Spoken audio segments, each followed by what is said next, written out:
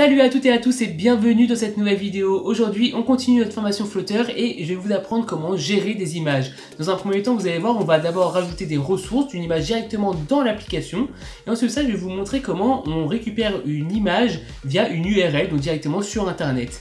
Et pour terminer, le clou du spectacle, on le mettra dans le cache. Je vous montrerai comment gérer le cache avec les images avec Flutter et comment, pourquoi pas, animer aussi l'image. Rappelez-vous où est-ce qu'on en était? On avait quasiment terminé tout ce qu'on avait mis dans notre maquette. Il nous manquait juste la petite euh, icône qui, est tout là-haut, donc la petite image, d'accord? Mais avant de commencer, je vais vous montrer quelques petits détails, vous allez voir quelques petits détails à savoir. Pour commencer, regardez le petit bandeau debug qui est juste là. Je vais vous montrer comment l'enlever, tout simplement, ça pourrait être intéressant, non? Euh, Eh bien, regardez, dans Material App, ici, vous allez rajouter euh, quelque chose qui s'appelle Debug Show Check Mode Banner à False. Et si je sauvegarde et que je regarde ce que ça donne, mon petit bandeau debug est parti. Voilà, c'est des petits tips que je vous donne juste avant de commencer. Autre chose très important, euh, rappelez-vous, j'ai ma description qui s'affiche juste là. Imaginons maintenant que ma description est vraiment très très longue et qu'elle sorte de l'écran. Regardez exactement ce qui va se passer. Je vais mettre ici une description beaucoup plus longue, d'accord? Hop, donc là, vous n'allez pas voir la différence, mais c'est vraiment, vraiment beaucoup plus long. Je sauvegarde, et puis là, directement, si je regarde, il me met une erreur dans mes logs ici, dans l'onglet Run. Il me met une petite erreur, mais encore plus simple, allez directement sur votre émulateur, et vous allez voir, voilà, j'ai une grosse partie en jaune, là, vous voyez Une très grosse partie en jaune qui me dit tout simplement que ça sort de l'écran, et que bah, du coup, l'utilisateur ne pourra pas le voir. Comment est-ce qu'on règle ce problème? C'est assez simple, il faut le corriger dès maintenant d'ailleurs, hein, puisque là on va rajouter l'image et on va voir le problème juste après. Donc je reviens où il y a mon scaffold, d'accord? Et puis ici, vous vous rappelez, j'ai ma colonne. Si vous ne vous rappelez pas, regardez les épisodes précédents, ça peut toujours aider. Et ici, à la place d'une colonne, tout simplement, je vais mettre une list view. Voilà, une list view, ça permet tout simplement d'avoir une vue scrollable. Donc c'est une colonne scrollable en fait. Hein. Donc si je sauvegarde et que je reviens ici, j'ai plus de problème, et en plus de ça, je peux scroller. Donc c'est magnifique. Allez, je vous ai montré deux trois petits trucs que je voulais vous montrer juste avant de commencer. Maintenant, on attaque l'image. Regardons voir directement la documentation. On nous dit Asset Bundle. Voilà, c'est ici que ça va nous intéresser, comment on ajoute une image dans les assets, c'est-à-dire dans, directement dans l'application. Ici, on nous dit clairement de les ajouter dans YAML. Donc on les ajoute dans notre projet, et dans notre fichier YAML, vous allez voir, on va devoir les déclarer. Donc tout d'abord, rajoutons notre image. Notre image, on va la rajouter, vous allez voir ici, voilà, j'ai mon application, Flutter App, je clique droit, je fais New Directory, ok, et je vais rajouter une, un répertoire qui s'appelle image, ok.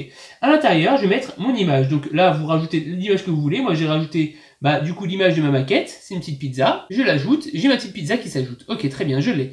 Maintenant, on va aller dans notre fichier YAML, c'est pubspec.yaml qui est juste ici, vous voyez. Donc, je clique dessus, et là, si je descends un tout petit peu dans mon fichier, je vais avoir une petite section qui est commentée, qui est asset, voilà, juste là.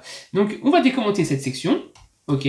Très important, le fichier YAML, c'est un langage particulier, il faut bien respecter les indentations. Une indentation, c'est égal à deux espaces, regardez bien, je vais vous montrer l'exemple, ici, là, 1, 2. Entre le bord et asset, j'ai deux espaces. Entre asset et ma première image, 1, 2, il y a bien deux espaces aussi. Il faut faire très attention à ça.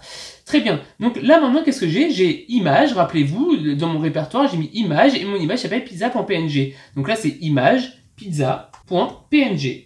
Donc maintenant que ça c'est fait, Hop, le deuxième, on va pas s'en servir. Je sauvegarde, d'accord Alors regardez bien en haut, quand je retourne sur main.dart, il y a marqué PubSpec has been edited. C'est normal, je de rajouter une image. Ici, je vais juste cliquer sur Get Dependencies. Voilà, j'ai pas besoin d'aller en ligne de commande parce que Android Studio me le propose. Génial. Là, ça me l'ajoute. Et maintenant, mon image, je vais pouvoir l'utiliser. Comment maintenant je l'utilise?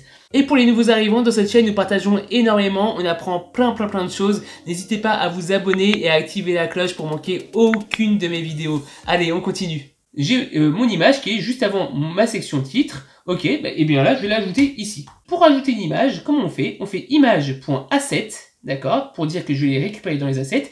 Ici, je mets exactement la même chose que ce que j'ai mis dans mon spec image avec un s slash pizza.png. Je mets exactement la même chose, d'accord? Et puis ici, je peux lui définir une taille, une hauteur, une largeur. Et enfin, je mets cover qui permet tout simplement d'afficher au mieux euh, l'image, d'accord? Ok, je relance l'application pour bien que ça prenne en compte maintenant mes images. Et puis là, qu'est-ce que j'ai? J'ai mon image qui apparaît. Donc on est plutôt bien, d'accord? Voilà, quand je scroll, mon image, elle scroll bien. Donc on est, très bien. Là, je vous ai montré comment rajouter une image simplement dans euh, vos ressources, dans vos assets. Ok, maintenant tout ça c'est très bien. J'ai mis l'image dans les assets. Mais en réalité, on va pas avoir l'image dans les assets. On va avoir une URL que le serveur va nous renvoyer. Et il va falloir afficher l'image selon l'URL. Donc là, maintenant, je vais vous montrer comment on affiche une image grâce à une URL. Eh bien, regardez, le code n'est pas beaucoup plus compliqué. Au lieu de faire image.asset, juste ici, d'accord, je vais mettre image.network. À la place de image slash pizza.png, eh bien, je vais mettre tout simplement une URL. Voilà, j'ai mis une URL. Et si je sauvegarde et que je regarde, qu'est-ce que ça va me donner? Ça va me donner exactement la même chose, d'accord? Pour bien être sûr, je fais bien un play comme ça, comme ça vous voyez bien que je triche pas, et vous allez voir que quand ça va redémarrer, voilà, ça redémarre, et bien là, ça devient exactement la même chose. Là, c'est parti chercher l'image sur Internet directement, bien entendu. Et ça me l'a affiché. Voilà, donc vous avez vu, j'ai eu un petit écran blanc, ensuite ça, ça a affiché mon image, autant que ça télécharge l'image et que ça me l'affiche. Donc pour télécharger une image, image.network. Voilà, aussi simple que ça. Et pour récupérer depuis vos assets, image.asset. Voilà. Maintenant, allons encore plus loin, je vais vous montrer comment on fait une animation sur l'image. Une fois que l'image est chargée, on va faire comme une sorte de fade, c'est-à-dire qu'il va y avoir un effet de fondu. Voilà. Donc, en regardant directement la documentation, vous voyez, dans la documentation, on a ce qu'on appelle un transparent image, voilà. je vais vous montrer en même temps comment rajouter ce genre de code dans votre application. Vous voyez ici, quand vous allez dans la documentation de Flutter, vous avez un styling vous cliquez sur Installing et il vous dit directement comment on fait pour euh, installer ce genre de librairie. Donc pour ça, il vous demande dans les dependencies d'ajouter transparent slash underscore image, etc., etc. Donc nous, on va aller dans les dependencies. Les dependencies, c'est dans le fichier YAML, d'accord, qu'on a déjà ouvert, hein. donc c'est ce fichier-là. Vous voyez, on a déjà mis asset image, d'accord Et si on descend un tout petit peu plus, alors si on remonte un tout petit peu plus plutôt, ici vous avez dependencies. Eh bien, à la ligne, respectez toujours l'indotation, c'est-à-dire 2 espaces juste avant, transparence, transparente underscore image, et puis là je mets exactement ce qu'on nous avait demandé de mettre, d'accord? Je sauvegarde, je vais dans main.dart, et on me demande de récupérer mes dépendances, donc je clique dessus, ok? Donc là, vraiment je fais rien, je fais get dependencies, ça m'a récupéré mes dépendances. Alors, il va manquer un dernier petit truc, c'est que dans l'installing, vous voyez tout en bas, il y a marqué import, donc toute cette ligne-là, vous la prenez, commande C, hop, et vous la mettez dans votre main.dart, où vous voulez l'utiliser, bien entendu, tout en haut, vous collez cet import. Ça permettra d'utiliser ce code, d'accord? Donc là, c'est grisé, c'est normal parce que je ne l'utilise pas pour le moment, mais on va l'utiliser tout de suite. Si je retourne dans la documentation, on me dit que je peux, voilà, utiliser un cas transparente image. On va regarder le fait d'une image tout de suite, hein, vous allez voir. Ok, donc euh, allons-y, on va utiliser tout ça. À la place de cette image, tout simplement, je vais pas utiliser image.network, je vais utiliser network, ok? Et euh, juste avant l'URL, d'accord, je mets juste image de point. Là, c'est nickel, ça va marcher, c'est-à-dire que là, je lui demande de faire un fade, donc un effet de fondu. Sauf que pour faire un effet de fondu, il faut une image de base. L'image de base, je vais pas lui mettre du blanc, je vais lui mettre justement une image transparente pour avoir bien cet effet de, euh, fondu, d'accord? Donc pour avoir l'effet de transparence, c'est justement bah, ce qu'on vient juste de rajouter, d'accord? Donc je vais mettre un placeholder K transparente image. Ça appartient bien à la lib qu'on vient juste d'intégrer, d'accord, transparente image. Hein. Ok, c'est pour ça qu'on l'a intégré, c'est exactement pour pouvoir faire cette animation. Maintenant, si je, sauvegarde, je vais faire carrément un play ici pour pouvoir voir cette animation de fondu. Ça va être très rapide, donc soyez attentifs. Ok, ça démarre, et puis là, vous voyez, il y a un petit effet de fondu qui s'est affiché, c'est beaucoup plus agréable quand l'image apparaît, ok? Ok, maintenant on va aller encore beaucoup plus loin. Euh, on va carrément mettre un petit loader le temps que ça charge. Vous allez voir, ça va être assez sympa parce qu'on va apprendre une nouvelle notion. C'est un nouveau conteneur, c'est pas une row, c'est pas une colonne, mais c'est plutôt une stack. Qu'est-ce que ça veut dire une stack? Ça veut dire qu'on va empiler les vues. C'est-à-dire que je vais avoir mon loader et par-dessus, je vais mettre mon image. Voilà. Donc c'est-à-dire qu'en réalité, quand l'image va apparaître, quand l'image sera téléchargée, ça va cacher mon loader. Ok? Donc on va regarder ça tout de suite comment on fait. Alors tout d'abord, une stack, il faut savoir que ça fonctionne exactement comme une colonne, d'accord? Juste au-dessus de mon fade in image, je vais rajouter une stack ok? Et comme une colonne numéro, on a dit children's. Et à l'intérieur, je mets bah, tous mes enfants. Donc tous mes enfants, qu'est-ce qu'on a comme enfant On a le fade-in image qui est juste là. Ok, donc ça c'est bon, notre, notre image. Et puis juste avant notre image, j'ai dit on veut rajouter bah, un petit loader. Donc pour rajouter le loader, qu'est-ce qu'on va faire? On va rajouter un container qui va faire la même taille que mon image, d'accord? Donc 600 par 240. Et puis, je vais lui donner comme enfant centrer un circular progress indicator. Donc toutes ces étapes sont très importantes et vous voyez qu'il y a beaucoup de nouvelles notions. La stack, donc pour empiler deux vues, d'accord, deux widgets en réalité, d'accord? Un conteneur pour rajouter la même taille que l'image. Et puis en enfant, le conteneur servira aussi à centrer le circular progress indicator, donc le, petit loader, d'accord? Pourquoi je fais center? Parce que sinon ça va étirer mon image, d'accord, mon circular progress indicator, et ça va le déformer, ça va, ça va pas être beau et elle va être immense. Alors que moi, je veux vraiment qu'elle soit centrée en plein milieu.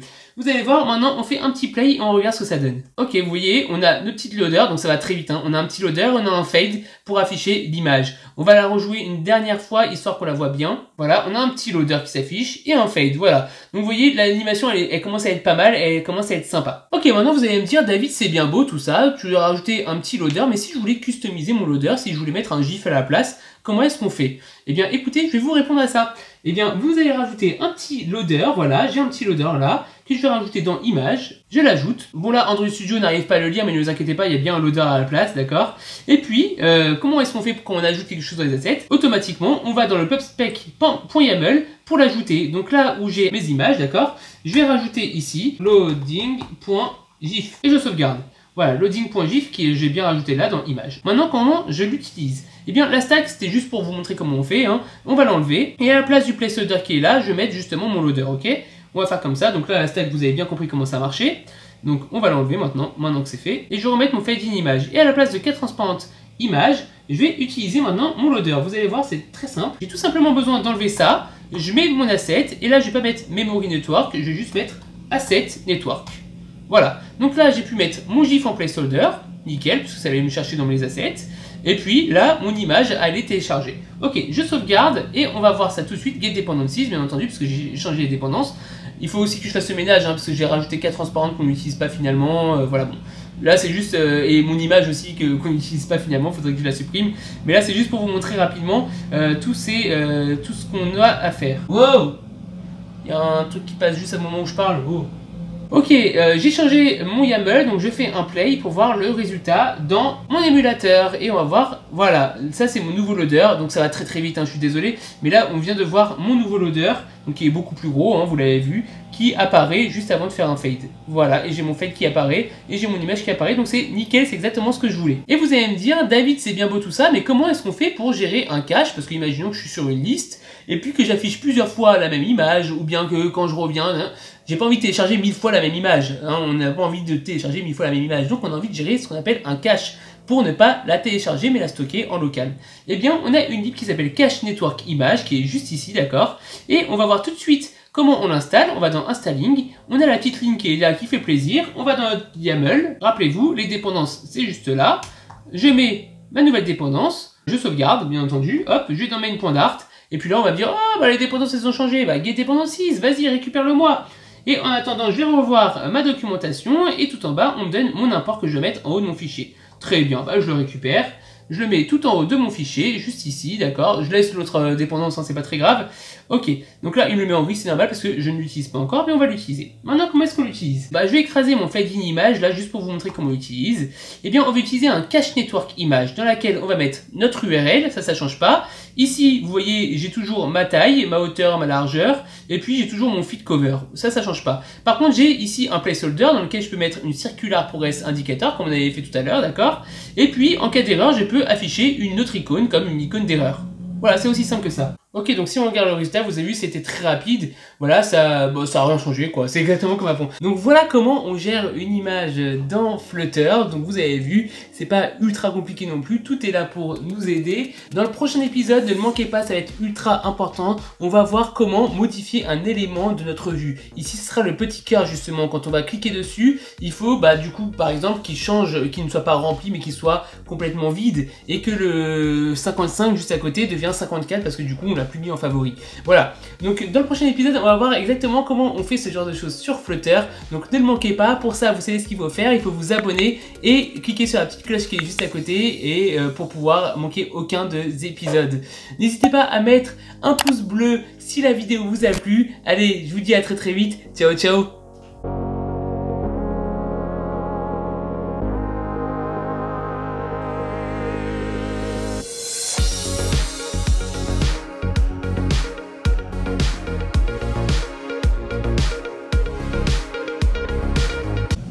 moi celui-là ou quoi? Il repasse, hein Il prend son interdit en plus, tranquille.